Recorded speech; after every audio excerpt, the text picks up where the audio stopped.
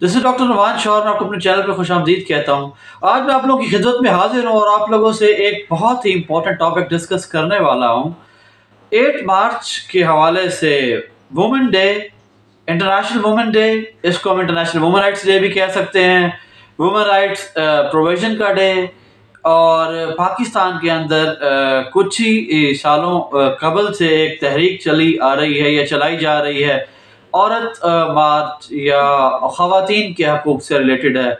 What is this international women day और औरत मार्च क्या है? इसकी क्या इम्पोर्टेंट है? क्या इसकी सिग्निफिकेंस है? और पाकिस्तान के सोशो पोलिटिकल स्फेयर के अंदर इसकी किस तरह से इम्पोर्टेंस है?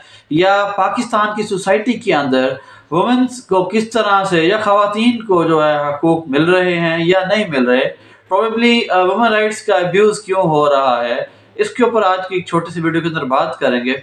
सबसे पहले बात करें 8 मार्च को पूरी दुनिया के अंदर इंटरनेशनल वुमेन डे सेलिब्रेट किया जाता है। जिसका मकसद क्या है? जिसका मकसद ये है कि जितनी भी दुनिया के अंदर खातन है, उनके साथ जो भी जो है रवैया इख्तियार किया जाता है चाहे वो गलत या सही, अगर सही रवैया इख्तियार किया जाता है तो उसकी पिजराई की जाए। अगर उनके खिलाफ या उनके साथ कोई रवैया सही इख्तियार नहीं किया जाता तो प्रॉब्ली इसकी कंडमनेशन की जाए, उसके अगेंस्ट बोला जाए, ताकि उनको अपने हकूक मिल सके।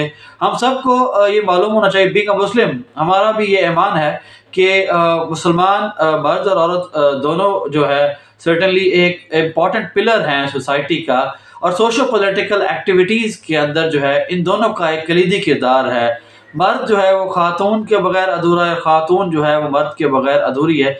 ये बातें हमारी सोसाइटी के अंदर इनकलकेट करने की भी ज़रूरत है। ना कि ये कि जो एक मर्द एक डोमिनेंट फीचर है कि वो फीमेल का या जो वमेन का है और उसके राइट्स का है जो इस्तेसाल करे। मतलब लिबर्टी वुमेन को भी आ, होनी चाहिए। सर्टन अपने डिसीज़न लेने की। जो रिलीजन ने उनको दी है डिसीज़न लेने की पार, जो रिलीजन से उनको राइट दिए हैं, जो रिलीजन ने उनको प्रिविलेजेस दिए हैं they should enjoy that privileges ना कि ये है सप्रेस करके जो है, उनको जो है प्रॉब्ली डराया धमकाया जाए और जो है गलत सलूक जो है उनके साथ किया जाए।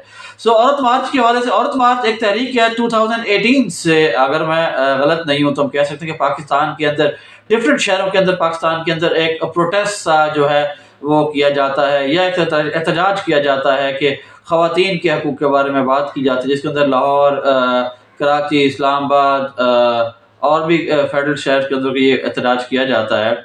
सो औरत मार्च को जो है गलत रंग नहीं देना चाहिए। मतलब वुमेन राइट्स डे ज़रूर सेलिब्रेट करें, लेकिन उसको जो है अपने रिलीजियस और पॉलिटिकल और सोशो इकोनॉमिक जो है और जो कल्चर जो है और जो एथिक्स हैं, उनको वालेट नहीं करना चाहिए। वुमेन राइट्स की बात ज़रूर करनी चाहिए, क्योंकि ऐसा माशरा जिसके अंदर हम रह रहे हैं, जिसके अंदर बहुत ही ज़्यादा इस्तेसाल है। जिसके अंदर जेंडर की बेस के ऊपर बहुत ही ज़्यादा इनक्वालिटी है। यहाँ तक कि उनको तालीम का हक से भी जो है साइड पे रखा जाता है और घर के अंदर भी जिनको एक सेकंड क्लास सिटीजन जो है कंसीडर किया जाता है। इस्लाम बिल्कुल इस तरह से नहीं कहता क्योंकि बींग मुस्लिम हमारा भी ये मान है कि all the human beings they are created equal ये और बात है सर्टन जो जेंडर हैं, उनकी अपनी जो है बाउंड्रीज हैं मेल की फीमेल की, लेकिन ये दोनों पहिए हैं जिसके तहत जो है सोसाइटीज जो चलती हैं। फ़ेमस लोगों का जो कॉट है if you give me good mothers I give you good societies और वुमेन राइट्स के ऊपर बात ज़रूर करनी चाहिए, लेकिन ये बात ज़रूर जहन में रखनी चाहिए, वो मेल या वो मेन जो वुमेन को एक पावरफुल पोजीशन के लाने के लिए अपनी लाइफ सेक्रीफाइस कर देते हैं, उनके बारे में भी सोचना चाहिए। मैं फेमिनिज्म के हक में हूँ फेमिनिस्ट पॉलिसी ज़रूर अडॉप्ट करनी चाहिए फेमिनिस्ट पॉलिसीज़ बनानी चाहिए, ताकि वुमेन राइट्स की जो प्रोटेक्शन हो वुमेन राइट्स अब्यूज ना हो, उनके साथ किसी किस्म की ज्यादती ना हो वुमेन राइट्स की वर्क प्लेस पे कोई हरासमेंट ना हो उनके साथ एजुकेशन में कोई हरासमेंट ना हो, कोई भी उनकी प्रॉब्लम ना हो they should be considered as an equal citizen of Pakistan.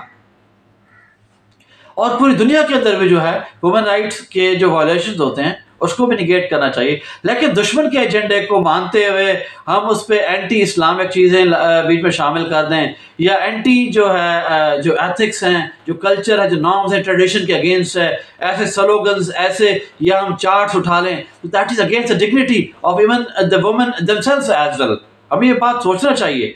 अभी टमोरो एट मार्च है, औरत मार्च के लिए जो कोशिश की जाएगी प्रोटेस्ट करने के लिए, लाहौर भी एडमिनिस्ट्रेशन से रिक्वेस्ट की गई, लेकिन अभी तक तो जो है इजाज़त नहीं दी गई। सो इस बात को ज़रूर मद्देनज़र रखना चाहिए, हमारी माओ बहनों को, और जो हमारी फीमेल सोसाइटी की जो एक्टिविस्ट हैं फेमिनिस्ट हैं लिबरल फेमिनिस्ट हैं दे शुड इनिशिएट दिस औरत मार but they should be taking care of the certain norms ethics tradition और कल्चर कि किस सोसाइटी में वो रह रहे हैं उनका रिलीजन क्या कहता है उनकी ट्रेडिशन कल्चर किस बात की क्या बात करते हैं। और पाकिस्तान की हिस्ट्री में women they do have played very vital role फासमा Jahangir बड़ा पॉपुलर नाम है। फातमा जना बेनज़ीर भुटो बहुत सारी ऐसी खातन और भी न्यूमरसी पाकिस्तान की अभी एक आर्म फोर्स के अंदर जनरल की पोजीशन तक भी पाकिस्तान की आ, आ, एक फीमेल गई हैं। तो कहने का मकसद ये है कि सर्टेन रिजर्वेशन का ख्याल करना चाहिए। और जो लोग हैं, इसको नेगेटिव प्रोटो प्रोटे करते हैं, उनको भी चाहिए कि जो राइट्स की जो है ह्यूमिलिएशन हो रही है, वो नहीं होनी चाहिए, उनके साथ देना चाहिए। In the side by side हया मार्च जो है, वो भी इनिशिएट किया गया है। The rightist political Islamist parties की तरफ़ से जो ये चाहते हैं कि प्रॉबली जो है कि जो नेगेटिव एलिमेंट जो औरत मार्च के अंदर प्रोटेक्ट किया जाता है, उसको ना किया जाए। ये मेरी छोटी सी राय है। आप लोग इससे जो है डिफ्रेंशिएट कर सकते हैं। सो आई माइट भी रॉन्ग आप लोग मुझे करेक्शन भी कर सकते हैं। Thank you thank you for watching me